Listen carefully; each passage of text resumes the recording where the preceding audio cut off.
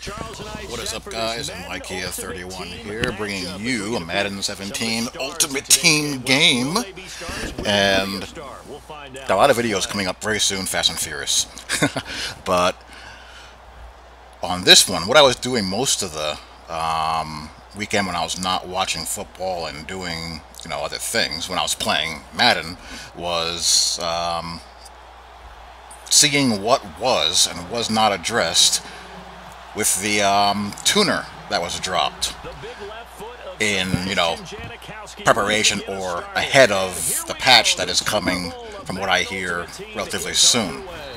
And, you know, in doing that, the best way to go about doing that and finding out what's there and what isn't is to go online, play head-to-head, and play some jerk-offs. And this is your classic online Madden Ultimate Team jerk-off that I'm playing right here. And what you're going to see, he's coming out in a formation that smells counter or stretch. So I'm coming out in 4-3 wide 9 right away. And I spread the defensive line from wide 9. I'm, I'm in a damn near wide 11. And this fool still tries to spam an outside run. And that tells you all you need to know. These guys think that they can just run outside with stretch, counter, what have you, with impunity. They have no intention or no desire to understand or read a front. They just know that, hey, stretch and counter is the way to go, so I'm going to run it on anything. Now, I think it's here, but no, it's not here. It's coming up a little bit later. But from what I can see, I don't see any um, discernible difference with how the force defender is behaving on those runs. So that leads me to conclude that that's not going to be addressed until this patch arrives. As far as what I have noticed gameplay-wise, there is, as I screw up a play there, but there is a um, definite reduction in the amount of QB sack fumbles.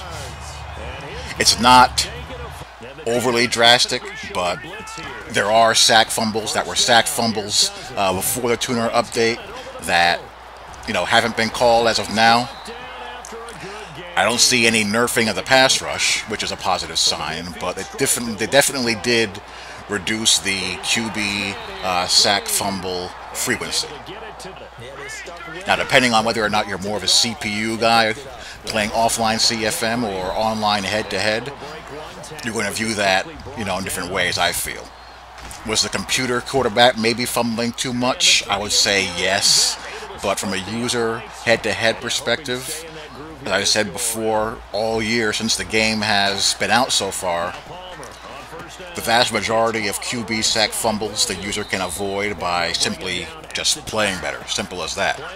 Get rid of the ball quicker, throw the ball away, give yourself up, and get your quarterback on the ground and live the fight another down if there's no escape from the um, rush. And you recognize that in time. Stuff like that. I also notice a increase in the amount of uh, tip drill INTs that are actually caught. Before, I think the game was uh, very much APF 2K8-ish in that regard, where a pass would be intercepted and be bouncing off two or three sets of hands. It's not skewed heavily in the other direction, but I definitely see more of those getting um, caught where the ball is uh, deflected up in the air in traffic around defenders and your defender is coming down with it more often when he has the opportunity to do so.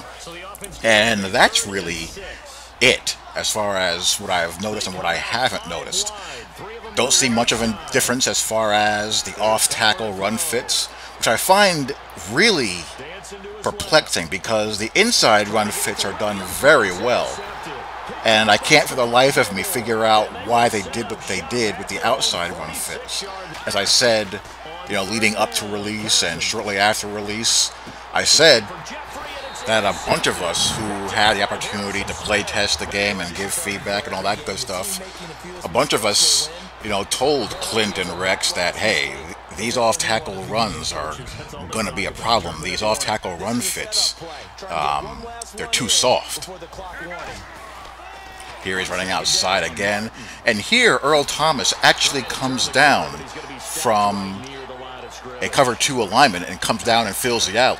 So that gives me hope. That's an encouraging sign that if they can tighten up the screws there on those deep defenders filling the alley, that, you know, we can have something here as far as making people earn those outside runs.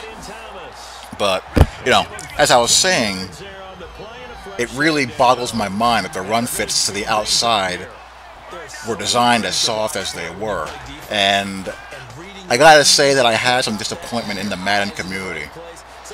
I'm seeing a lot of comments along the lines of, it's no fun getting sacked and fumbling so much.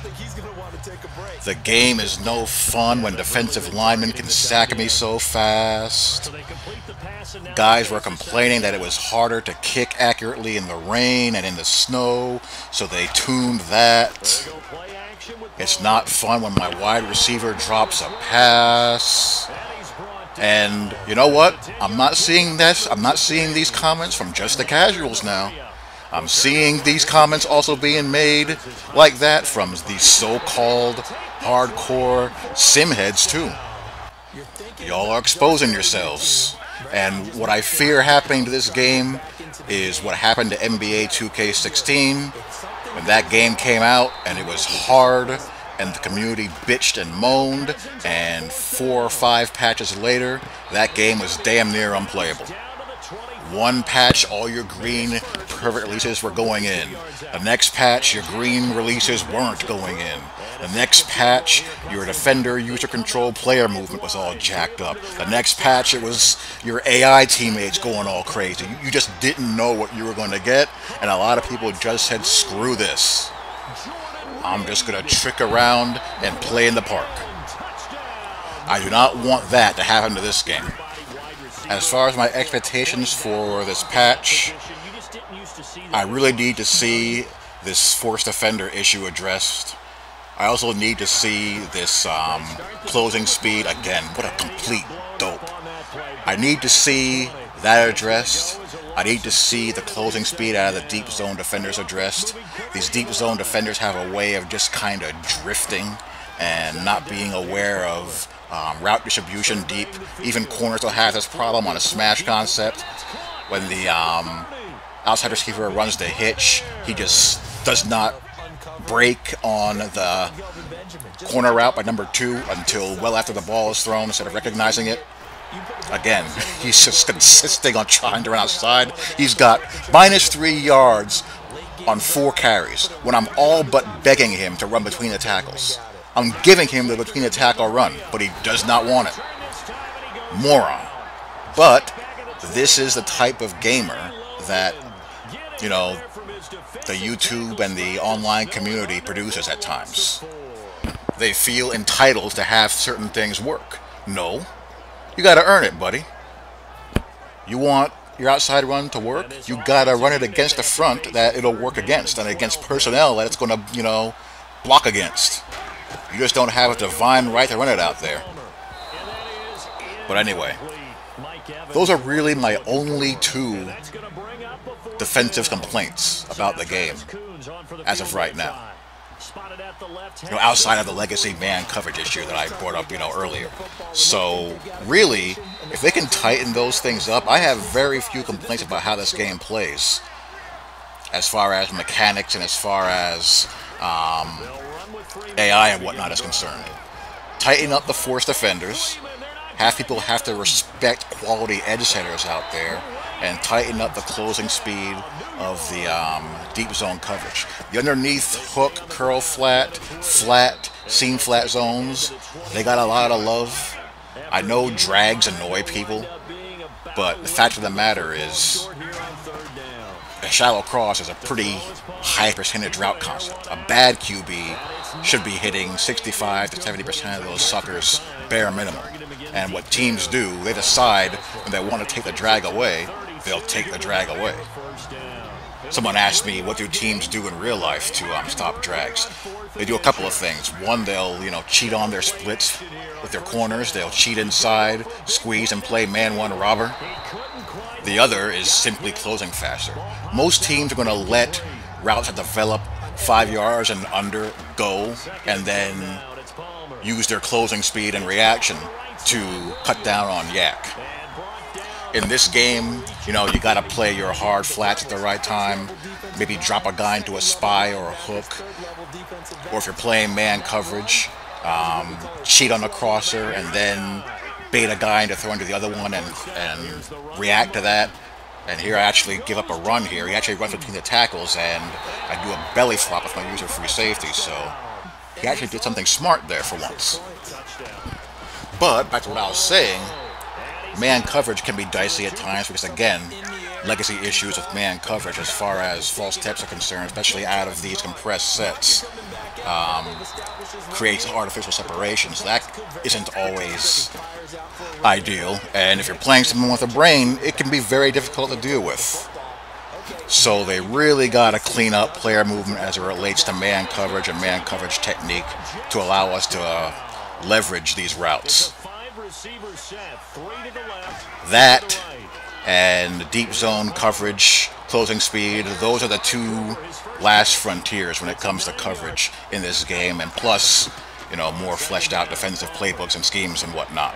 But um, overall, you know, those are my expectations for the patch. From what I understand, this patch is pretty substantial, so it's just a matter of it getting here. So that's really all I got to say about that. This game's about to conclude. Love to hear your guys' thoughts as you watch how the end of this bad boy plays out, and I will talk to you all later. Peace.